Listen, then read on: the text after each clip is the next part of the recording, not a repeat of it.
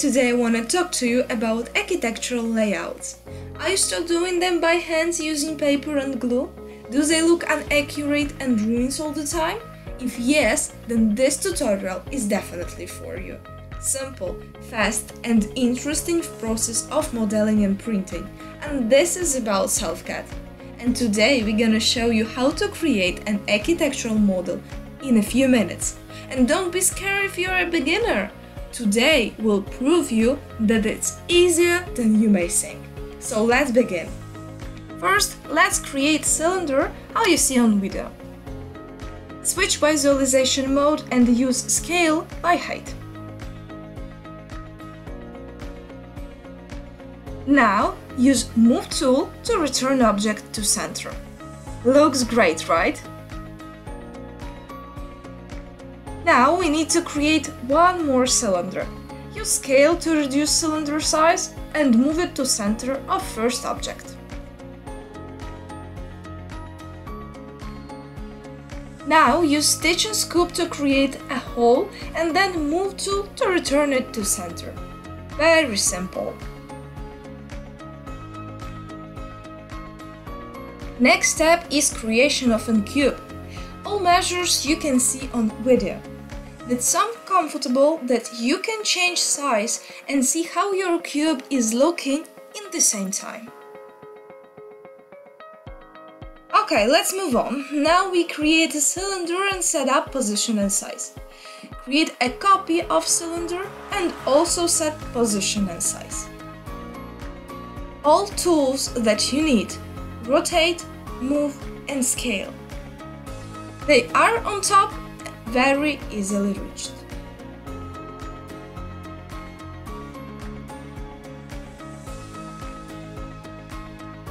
Now select all objects except the first one and use difference. Correct size and position and it can take some time, but it's important for an architectural model to be perfectly fit.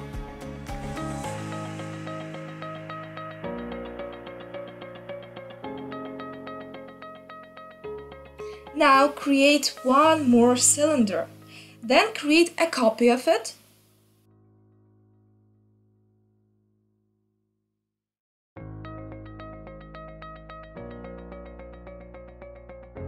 And use difference to cut off the corners. Now we need to use move tool and scale tool to reduce sizes and move them. Also, we need to set up position and size. It's look interesting, don't you think?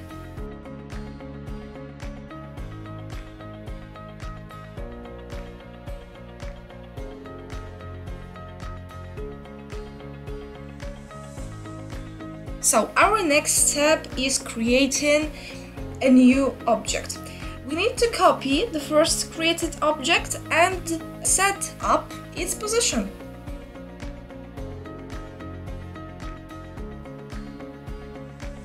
Now just move it aside and create a cube.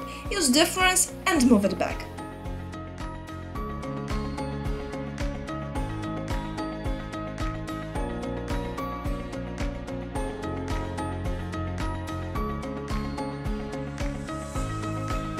Copy spire and simply rotate it, scale it, and set up position and size of both spires.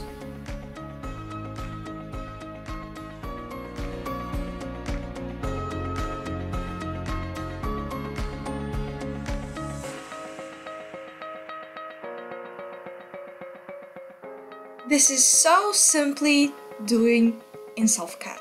Enjoy your process. Now, we need to create one more cylinder, or no, even two. Use difference on both and set up the position and size.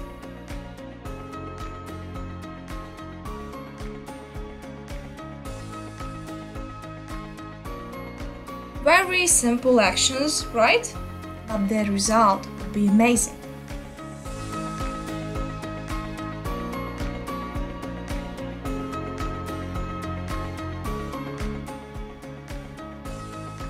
Now create a cube, set its size and position by relation to last created object. And use difference again.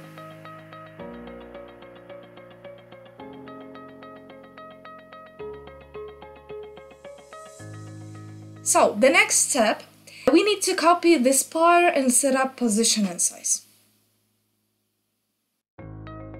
With help of scale, we can reduce sizes and rotate object on 90 degrees.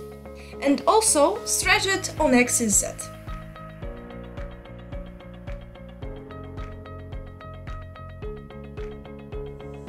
Use rotate and move to set needed position of spire, increase height of extension of bolt. Half of work is done, that's great. Now create a cylinder, copy extension and cylinder, use difference for both of them, and set up position and size of a new object. When you are using move tool, rotate or scale for example, you can do changes using gizmos, they are on your object, or set exact values in a checkbox that you can see on the left of your screen. Also, there are small tooltip videos on your down left corner and it's very helpful if you want to know how this or that tool appropriately works.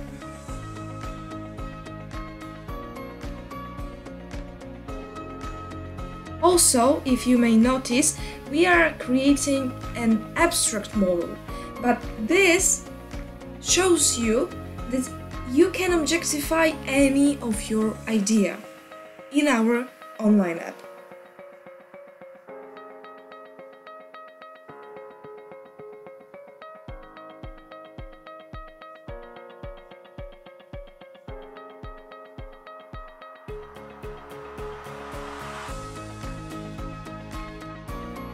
Now we need to create one more cube. We will use it to cut our last created extension. Now we are making a copy of it and use stitch scoop difference to cut our last created extension. Those actions are simple but needed if you want the perfect size.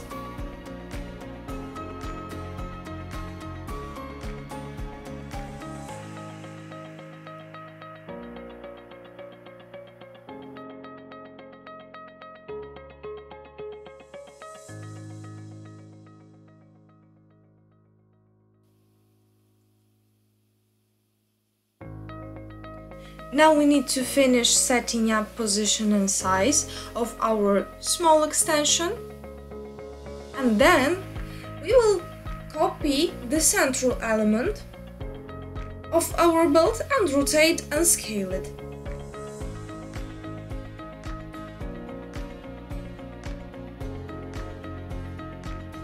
Now we need to create one more cylinder. We will use it to make our copied object more thick with the help of difference. Also, with the help of Move tool, we will return it to the center of our object, reduce sizes and do it higher with the help of Scale.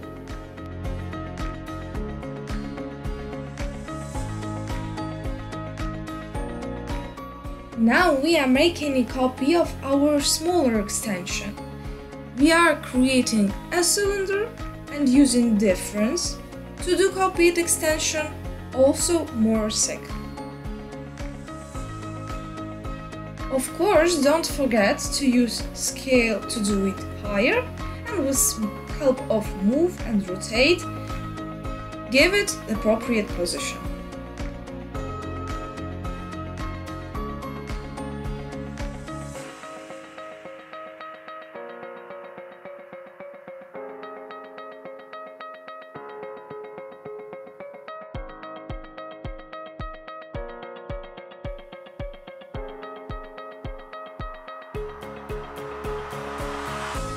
And we did it!